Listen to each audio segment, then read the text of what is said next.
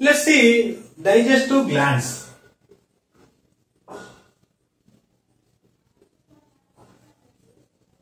ఏంటి? Digestive glands ముఖ్యంగా ఏంటి అంటే దీనిలో డైజెషన్లో ఇన్వాల్వ్ అయ్యే గ్లాండ్స్ గురించి చెప్దాం. ఫస్ట్ ఏంటంటే స్టమక్ స్టమక్ అనేది ఒక గ్లాండ్గా వర్క్ అవుతుంది. దాని నుండి హెచ్సిఎల్ పెప్సిన్ అనేది రిలీజ్ అవుతాయి. అందుకోసం stomach is a gland okay రెండోది ఏంటి అంటే లివర్ మూడోది ఏంటంటే ప్యాంక్రియాస్. నాలుగోది ఏంటంటే రెక్టమ్ గ్లాండ్. ఇప్పుడు ఇవి నాలుగు గ్లాండ్స్ ఎక్కడ ఉన్నాయి ఒకసారి చూడండి. యాక్చువల్గా ఇప్పుడు మనం నేను ఈ రెడ్ దాంతో గీస్తాను. స్టమక్ అంటే ఇది పైలోరిక్ ఇది కార్డియక్ తర్వాత పైలోరిక్. ఇది స్టమక్. ఇక్కడ నుంచి ఇక్కడ జే షేప్లో ఉండేది స్టమక్. ఓకే? దీంట్లో నుంచి ఏం రిలీజ్ అవుతుందంటే హెచ్సిఎల్ రిలీజ్ అవుతుంది ప్లస్ పెప్సిన్ రిలీజ్ అవుతుంది. పెప్సిన్ అనేది ఎంజైమ్ ఒకసారి చూడాలి ఎక్స్ప్లెయిన్ చేస్తాను నెక్స్ట్ తర్వాత coming to the liver liver ఎక్కడ ఉంటుందంటే చూడండి ఈ విధంగా రెండు లివర్స్ అనేది ఎల్లో కలర్లో ఉండేసి రెండు లోబ్స్ కలిగి ఉంటుంది. ఓకే ఇది ఒక lobe lobe one lobe two okay ఇది రైట్ ఇది లెఫ్ట్ ఎల్లో కలర్లో ఉంటుంది రెండు లోబ్స్ కలిగి ఉంటుంది. ఈ విధంగా అరేంజ్ అయి ఉంటుంది. యాక్చువల్లీ ఇక్కడ ఈసోఫాగస్ కాదు ఈసోఫాగస్ కింద అరేంజ్ అయి ఉంటుంది. ఓకే ఈ విధంగా అరేంజ్ అయి దీని నుండి లివర్ నుండి గాల్ బ్లాడర్ అనేది ఉంటుంది. లివర్కి రైట్ లోబ్ లోపల గాల్ బ్లాడర్ నుండి ఒక డక్ట్ ఓపెన్ అవుతుంది. ఆ డక్ట్ పేరే ఏమన్నాం అంటే మనం వైల్డ్ డక్ట్ అంటున్నాం చాలా జాగ్రత్తగా లివర్ అనేది రెండు లోపలు ఎల్లో కలర్లో ఉంది. దానికి రైట్ సైడ్ లోపల ఒక డక్ట్ ఒక గాల్ బ్లాడర్. ఇదేంటి? గాల్ బ్లాడర్ అనేది ఉంది. ఈ గాల్ బ్లాడర్ నుండి ఒక డక్ట్ ఒక చిన్న పైప్ లాంటి నిర్మాణం ఓపెన్ అవుతుంది. దాన్ని ఏమన్నారంటే బయల్ డక్ట్ అంటున్నాము. ఇది లివర్ ఏం ప్రొడ్యూస్ చేస్తుంది అంటే బైల్ జ్యూసెస్ని ప్రొడ్యూస్ చేస్తుంది. లివర్ ఏం ప్రొడ్యూస్ చేస్తుంది? బైల్ జ్యూసెస్ని ప్రొడ్యూస్ చేస్తే ఆ బైల్ అనేది లివర్ ప్రొడ్యూస్ చేసిన తర్వాత కొంత పార్ట్ టైం కొంత టైం గా దేనిలో సేవ్ అయి ఉంటుంది స్టోర్ అయి ఉంటుంది అంటే గాల్ బ్లాడర్లో స్టోర్ అయి ఉంటుంది. ఎప్పుడైతే ఫుడ్ తిన్నాం ఫుడ్కి ఈ యొక్క బైల్ జ్యూసెస్ అవసరం బైల్ సాల్స్ అవసరం అన్నప్పుడు ఈ యొక్క దేనిలో గాల్ బ్లాడర్లో ఉన్న బైల్ అనేది ఈ విధంగా దీనిలోకి ఓపెన్ అవుతుంది. దీన్ని ఏమంటున్నాము? బర్సా ఇంటరియా అంటాం ఓకే? ఇది లివర్ గురించి. తర్వాత కమింగ్ టు ది ప్యాంక్రియాస్ ఇక్కడ ప్యాంక్రియాస్ గురించి మాట్లాడాలి అంటే ఇది కార్డియాక్ తర్వాత ఇది పైలోరిక్ ఈ రెండు రీజన్స్ మధ్య భాగం లోపల టూ లోబ్స్తో కూడిన ఇదొక లోబు ఒక లోప్. రెండు లోబ్స్గా ఉన్న ప్యాంక్రియాస్ ఉంటుంది. ఆ ప్యాంక్రియాస్ కూడా దాని నుండి కొన్ని జ్యూసెస్ రిలీజ్ అవుతాయి. ఆ జ్యూసెస్ని తీసుకెళ్ళేదాన్ని ప్యాంక్రియాటిక్ డక్ట్ అంటున్నాం. ఆ జ్యూసెస్ అన్ని దేనిలోకి ఓపెన్ అవుతున్నాయి? మళ్ళీ బర్సా ఎంటైరియాలో ఓపెన్ అవుతున్నాయి. కాబట్టి ఈ ప్యాంక్రియాటిక్ జ్యూసెస్ ఈ ప్యాంక్రియాటిక్ జ్యూసెస్ లోపల ఏముంటాయి? యాక్చువల్గా చూడండి అమైలాప్సిన్ అనే ఒక ఎంజైమ్ ప్యాంక్రియాటిక్ జ్యూస్లో ఏముంటుంది అమైలాప్సిన్ అనే ఒక ఎంజైమ్ ట్రిప్సిన్ అనే ఒక ఎంజైమ్ తర్వాత థర్డ్ వన్ వచ్చేసేసి లైపేజ్ అనే ఒక ఎంజైమ్ ఉంటుంది. ఇంకా రెక్టమ్ గ్లాండ్ ఈ రెక్టమ్ గ్లాండ్ మనకి ఇక్కడ ఉంది చూడండి. రెక్టమ్లోకి ఓపెన్ అవుతున్న ఈ గ్లాండ్ రెక్టమ్ గ్లాండ్ అంటారు. ఈ రెక్టమ్ గ్లాండ్ అనేది కొన్ని సెక్రీషన్స్ని రెక్టమ్లోకి రిలీజ్ చేస్తుంది కానీ దీని యొక్క ఫంక్షన్ అనేది తెలియదు ఇంతవరకు. ఏం ఆ సెక్రీషన్స్ యొక్క ఫంక్షన్ ఇంతవరకు తెలియదు. ఇది యాక్చువల్గా ఏంటి? గ్లాండ్స్ స్టమక్ అనేది హెచ్సిఎల్ ప్రొడ్యూస్ అవుతుంది పెప్సిన్ ప్రొడ్యూస్ చేస్తుంది లివర్ అనేది బైల్స్ని ప్రొడ్యూస్ చేస్తుంది ప్యాంక్రియాస్ ప్యాంక్రాటిక్ జ్యూసెస్ని ప్రొడ్యూస్ చేస్తుంది అమైలాప్సిన్ ట్రిప్సిన్ లైపేజ్ అనే మూడు ఎంజైమ్స్ ఉంటాయి. రెక్టమ్ గ్లాండ్స్ కొన్ని సెక్రీషన్స్ చేస్తాయి లిక్విడ్స్ని అవి రెక్టమ్లోకి ఓపెన్ అవుతాయి కానీ దాని యొక్క ఫంక్షన్ తెలియదు ఇప్పుడు వీటిని బేస్ చేసుకొని మెకానిజం ఆఫ్ యాక్షన్ ఫుడ్ ఏ విధంగా డైజెస్ట్ అయింది ఎక్కడ డైజెస్ట్ అయింది ఒకసారి చూడాలి. ఫస్ట్ చూడండి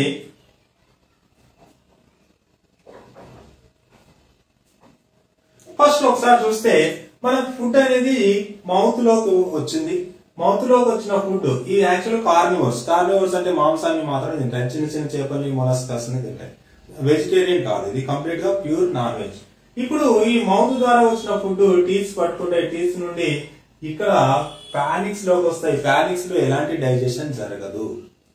పానిక్స్లో కార్బోహైడ్రేట్స్ డైజెషన్ జరగదు. ప్రోటీన్స్ డైజెషన్ జరగదు. లిపిడ్స్ డైజెషన్ జరగదు. పానిక్స్లో ఏం జరుగుతుంది? కేవలం అంటే మ్యూకస్ ప్రొడ్యూస్ చేస్తుంది కాబట్టి తీసుకున్న ఫుడ్కి మ్యూకస్ అనేది యాడ్ అవుతుంది. ఎందుకంటే అది మింగుతున్నప్పుడు ఈజీగా కిందికి పోవడానికి ఒక జెల్లీ లాగా ఉంటుంది అదే విధంగా చూడండి ఈసో ప్యాగస్ పోతుంది. ఈసో ప్యాగస్లో కూడా ఎలాంటి డైజెషన్ జరగదు.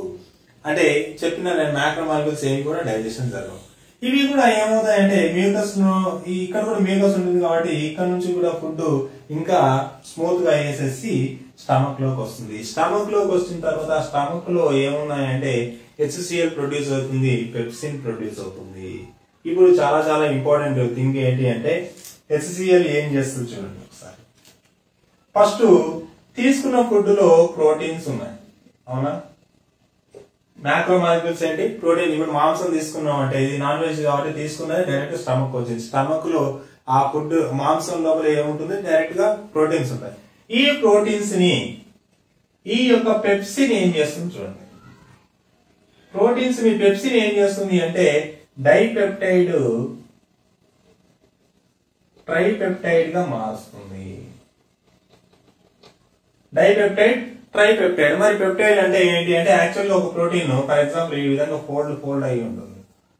ప్రోటీన్ దేంతో ఏర్పడుతుంది అంటే అమైన్ యాసిడ్స్ అన్ని కలిసి ఇట్లా ఒక నాలుగు వందల ఐదు వందల అమైనో యాసిడ్స్ ఇట్లా సీక్వెన్స్గా బైండ్ చేసేసి ఉంటే that is called as folding protein అంటారు.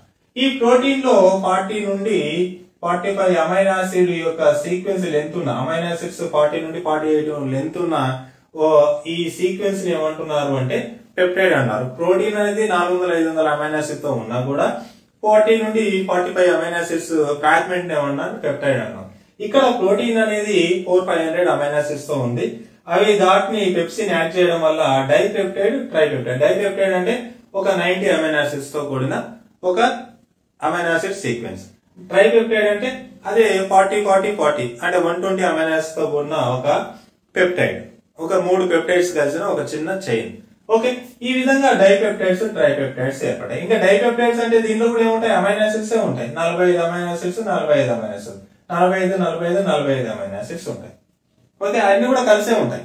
ఈ విధంగా పెప్సిన్ ఏం చేస్తుంది. కమింగ్ టు ది హెచ్సిఎల్ ఏం చేస్తుంది? హెచ్సిఎల్ ఏం చేస్తుంది అంటే ఇదే ప్రోటీన్స్ని దీని యొక్క ప్రోటీన్స్ ప్రోటీన్స్ మధ్యలో ఇప్పుడు చూడండి ఈ అమైనో యాసిడ్ యాసిడ్ మధ్యలో పెప్టైడ్ బాండ్స్ ఆ బాండ్స్ని వీక్గా చేస్తాయి. ఆ బాండ్స్ ఈజీగా బ్రేక్ అయ్యే విధంగా హెచ్సిఎల్ అనేది హెల్ప్ చేస్తుంది. పాయింట్ వన్ పాయింట్ టూ ఏంటి అంటే హెచ్సిఎల్ యొక్క ఇంకో ఫంక్షన్ ఏంటి అంటే అదే హెచ్సిఎల్ కార్బోహైడ్రేట్స్ని కార్బోహైడ్రేట్స్ కూడా ఏం చేస్తుందంటే డైల్యూట్ చేసేస్తుంది వీక్గా చేసేస్తుంది. అదే హెచ్సిఎల్ లిపిడ్స్ కూడా ఏం చేస్తుంది అంటే వీక్గా చేస్తుంది. వీక్గా చేస్తుంది. వీక్ అంటే ఏంటంటే అవి ఈజీగా బ్రేక్ అయ్యే విధంగా చేస్తుంది. కానీ బ్రేక్ అవ్వు కంప్లీట్గా బ్రేక్ డౌన్ అవ్వు. ఓకే కానీ వీక్ బాండ్స్ అనేది వీక్గా చేసేస్తుంది. అది హెచ్సిఎల్ యొక్క ఫంక్షన్ పెప్సిన్ యొక్క ఫంక్షన్ ఇది ఎక్కడ జరిగింది? స్టమక్లో జరిగింది. కమింగ్ టు ది లివర్ స్టమక్లో ఎస్సిఎల్ ప్రొడ్యూస్ అవుతుంది. ఎస్సిఎల్ అంటే యాసిడ్. యాసిడ్కి ఎసిడిక్ పిహెచ్ ఉంటుంది. అది జీరో నుండి సిక్స్ పాయింట్ నైన్ వరకు ఉండొచ్చు. ఇప్పుడు బైల్ సాల్స్ అనేటివి సెవెన్ నుండి సెవెన్ పాయింట్ వన్ నుండి ఫోర్టీన్ వరకు ఉంటాయి పిహెచ్ అంటే ఇక్కడ యాసిడ్ ఉంటే ఇది బేస్ అనమాట బైల్ సాల్ట్స్ అనేటువంటి బేసెస్ ఇప్పుడు విషయం ఏంటంటే చూడండి ఫుడ్ అనేది ఇక్కడ యాసిడ్తో మిక్స్ అయింది. ఇక్కడికి వచ్చింది. ఇక్కడ నుంచి వచ్చిన తర్వాత ఈ యొక్క మజిల్స్ ఈ యొక్క స్టమక్ మజిల్స్ ఈ యాసిడ్కు ససెప్టబుల్గా ఉంటాయి. యాసిడ్ ఒక దాని మీద యాక్ట్ చేసినా కూడా దానిలో పుండ్లు కానీ ఇలాంటి చిన్న చిన్న ఇన్ఫ్లమేషన్ కానీ రాదు. ఓకే కానీ ఎప్పుడైతే అదే యాసిడ్ కనుక స్టమక్లో కానీ బర్సా ఇంటర్నియాలో మీద కానీ యాక్ట్ చేసిందో అప్పుడు ఏమవుతుందంటే ఇవి రెండు కాలిపోతాయి. మనం చర్మం మీద యాసిడ్ వస్తే ఏమవుతుంది? కాలిపోతుంది. అదే విధంగా ఇక్కడ కూడా జరుగుతుంది. అలా జరగకుండా ప్రివెంట్ చేయాలి అంటే యాసిడ్కు బేస్ యాడ్ చేయాలి. ఆ బేస్ దేని ద్వారా యాడ్ అవుతుంది అంటే బైల్ సాల్స్ ద్వారా యాడ్ అవుతుంది. ఆ బైల్స్ ఎక్కడ ప్రొడ్యూస్ అవుతుంది? ప్యాంక్రియాస్లో ప్రొడ్యూస్ సారీ లివర్లో ప్రొడ్యూస్ అవుతుంది. గాల్ బ్లాడర్లో స్టోర్ అవుతుంది. బైల్ డక్ట్ ద్వారా ఇక్కడికి వస్తుంది. ఇక్కడ నుంచి ఫుడ్ ఎప్పుడైతే ఇక్కడికి వచ్చిందో ఇమీడియట్గా బైల్స్ అనేవి దీనికి యాడ్ అవుతాయి. అప్పుడు ఇక్కడ ఉన్న ఈ రీజన్ అనేది కాలిపోకుండా ఉంటుంది. ఓకే పాయింట్ వన్ అది. తర్వాత ఇదే బైల్స్ ఏం చేస్తాయంటే ఇక్కడ లిపిడ్స్ ఉన్నాయి. ఇదే లిపిడ్స్కి బైల్స్ అనేవి యాడ్ అయ్యేసేసి స్మాల్ ఇంటెస్టైన్లో అబ్జార్ప్షన్ జరుగుతాయి లిపిడ్స్. అబ్జార్ప్షన్ జరగడం లోపల ఇదే బైల్స్ హెల్ప్ చేస్తాయి. రెండే రెండు ఫంక్షన్స్ బైల్స్ యొక్క ఫంక్షన్ ఏంటి? ఒకటి అసిడిక్ నేచర్ ఉన్న ఫుడ్ని బేసిక్ నేచర్ ఆర్ న్యూట్రల్గా చేయడం. రెండోది ఏంటి అంటే లిపిడ్స్ని అబ్జార్ప్షన్ స్మాల్ ఇంటెస్టైన్లో జరుగుతున్నప్పుడు బైల్స్ అనేటివి లిపిడ్స్ చుట్టూ ఒక లేయర్గా ఫామ్ అవుతాయి. ఇది దీని యొక్క function coming to the pancreas చూడండి. ఇప్పుడు ఫుడ్ అనేది ఎక్కడికి వచ్చింది? ఇక్కడికి వచ్చింది. ఆల్రెడీ డైజెస్ట్ సిస్టమ్లో స్టమక్లో కొంత డైజెషన్ అయింది. ఏది డైజెషన్ అయిందంటే ఓన్లీ ఓన్లీ ప్రోటీన్స్ అయ్యాయి. ఆ ప్రోటీన్స్ అయిన తర్వాత కార్బోహైడ్రేట్స్ అట్లే వీక్గా ఉన్నాయి లిపిడ్స్ వీక్గా ఉన్నాయి అవన్నీ కూడా ఇక్కడికి వచ్చేసినాయి. ఇక్కడికి వచ్చేసిన తర్వాత ఇదే దానికి ప్యాంక్రియాస్ నుండి ప్యాంక్రియాటిక్ జ్యూసెస్ వచ్చాయి. ఇప్పుడు చూడండి ప్యాంక్రియాటిక్ జ్యూసెస్లో ఏమున్నాయి? అమైలోప్సిన్ ఉంది. ఇక్కడ కార్బోహైడ్రేట్స్ ఏవైతే వీక్గా అయినాయో అమైలాప్సిన్ అనేది ఏం చేస్తుందంటే కార్బో వీక్గా అయిన కార్బోహైడ్రేట్స్ని బ్రేక్ చేసేసి షుగర్స్గా కన్వర్ట్ చేస్తుంది. ఆ షుగర్స్ని మోనోసాకరైడ్స్ అంటాం. మోనోసాకరైడ్స్ మోనోసాకరైడ్స్ ఇప్పుడు కార్బోహైడ్రేట్స్ అంటే ఏంటి? షుగర్స్ ఇప్పుడు మల్టిపుల్ షుగర్స్ అన్ని ఒకదానికొకటి బైండ్ అవుతాయి. గ్లైకోసైడిక్ బాండ్స్ ద్వారా బైండ్ అవుతాయి. That is called as carbohydrate ఇక్కడ గ్లైకోసిడిక్ బాండ్స్ వీక్ చేస్తుంది ఎస్సిఎల్ వీక్ చేసిన తర్వాత ఆ బాండ్స్ బ్రేక్ చేసేది ఏంటంటే అమైలాప్సిన్ దానివల్ల ఏంటంటే మల్టిపుల్ షుగర్స్ అన్ని కూడా బ్రేక్ బ్రేక్ డౌన్ అయిపోయి చిన్న చిన్న సింగిల్ షుగర్స్గా మారుతాయి. ఇది దీని యొక్క function coming to the trypsin ఇప్పుడు చూడండి యాక్చువల్గా ఇది ఎక్కడ ఉంది అంటే ఆమె- ఈ బర్స ఎంటరికాలో ఉంది. ఈ బర్సా ఎంటరికాలోకి ఏం రిలీజ్ అవుతున్నాయి? ట్రిప్సిన్ రిలీజ్ అయింది. అమైలప్సిన్. అమైలప్సిన్ దీని యొక్క ఫంక్షన్ ఇస్తుంది ట్రిప్సిన్ ఏం చేస్తుందంటే ఇక్కడ ఏర్పడిన డై డైపెప్టైడ్స్ ట్రైపెప్టైడ్స్. స్టమక్లో ఏర్పడినటువంటి డైపెప్సైడ్ ట్రైపెప్టైడ్స్ మీద ఈ యొక్క ట్రిప్సిన్ యాక్ట్ చేసేసి ఆ ట్రిప్సిన్ యాక్ట్ చేయడం వల్ల డైపెప్టైడ్స్ ట్రైపెప్టైడ్స్ బ్రేక్ అయిపోయి అమైనో యాసిడ్స్ ఏర్పడతాయి. నేను ఫస్ట్లో చెప్పినాను macro molecules proteins micro molecules amino acids. Carbohydrates అనేటివి macro molecules sugars mono sugars monosaccharides అనేటివి మైక్రో మాలిక్యూల్స్ మనం రీచ్ అయిపోయాం. ఇప్పుడు కమింగ్ టు ది లిపిడ్స్ ఉన్నాయి. ఇక్కడ లైపేజ్ అనే హార్మో ఎంజైమ్ కూడా ఈ యొక్క ప్యాంక్రియాస్ నుండి రిలీజ్ అవుతుంది. లైపేజ్ ఎంజైమ్ ఏం చేస్తుంది అంటే లిపిడ్స్ మీద యాక్ట్ చేసేసి లైపేజ్ ఏం చేస్తుంది అంటే దీన్ని మోనో అసైడ్ గ్లిజరాల్ గాను ఫ్యాటీ యాసిడ్ గాను మారుస్తుంది. నేను ఆల్రెడీ చెప్పినాను lipids macro molecules mono acid glycerols తర్వాత ఫ్యాటీ యాసిడ్స్ అనేవి మైక్రో మాలిక్యూల్స్ ఇప్పుడు ఫుడ్ అంతా ఇక్కడ వచ్చేసిన తర్వాత ఇక్కడ అమైనో యాసిడ్స్ ఉన్నాయి మోనో సాకరైడ్స్ ఉన్నాయి mono acid glycerol fatty acids. ఇవన్నీ కూడా ఎక్కడికి వచ్చినాయంటే స్టమక్ వచ్చేసినాయి. స్టమక్ వచ్చేసిన తర్వాత స్టమక్ లోపల ఇక నేను డయాగ్రామ్ గీసినప్పుడు అక్కడ అబ్జార్ప్షన్ జరుగుతుందని చెప్పినాను. ఇక్కడ స్టమక్లోకి వచ్చిన ఈ ఫుడ్ మెటీరియల్ మొత్తం కూడా దేనిలోకి అబ్జార్వ్ అవుతుందంటే బ్లడ్లోకి అబ్జార్వ్ అవుతుంది. బ్లడ్లోకి అబ్జార్వ్ అయిన ఈ యొక్క మోనోసాకరైడ్స్ కానీ అమైనాసిడ్స్ కానీ మోనాసిడ్ గ్లిజరాల్ ఫ్యాటీ యాసిడ్స్ అన్ని కూడా బ్లడ్ నుండి టిష్యూలోకి వెళ్తాయి. బ్లడ్ మన బాడీ మొత్తం సర్క్యులేట్ అవుతుంది. బ్లడ్ ఎక్కడెక్కడ పోతున్నాయో ఇవన్నీ కూడా అక్కడ పోతాయి. అక్కడ ఎనర్జీ కావాల్స్తే దీని నుండి ఎనర్జీని అవి తీసుకుంటాయి.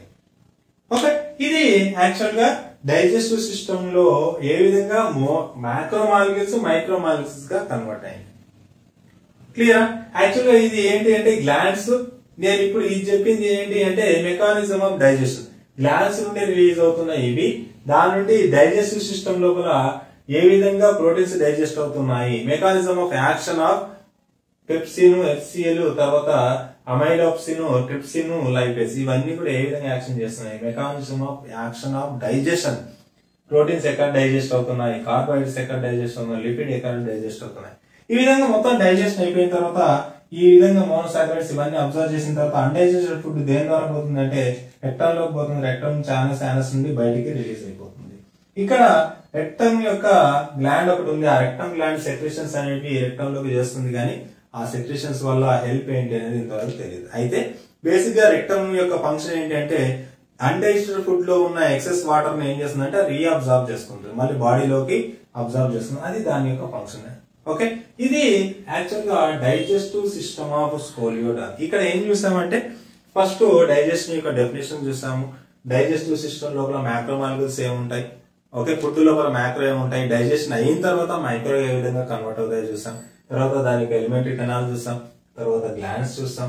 డైజెస్ట్ యొక్క ప్రాసెస్ చూస్తాం. ఇది కంప్లీట్గా digestive system of స్కోలియోడా okay I hope మీకు ఇదంతా అందరికి అర్థమైంది అనేసి అనుకుంటున్నాను. మీకు గనక క్లియర్గా అర్థమవుతుంటే నా ఛానల్ని సబ్స్క్రైబ్ చేయండి లైక్ చేయండి షేర్ చేయండి. నా ఛానల్ గ్రోత్కి మీ వంతు హెల్ప్ చేయండి. Okay thank you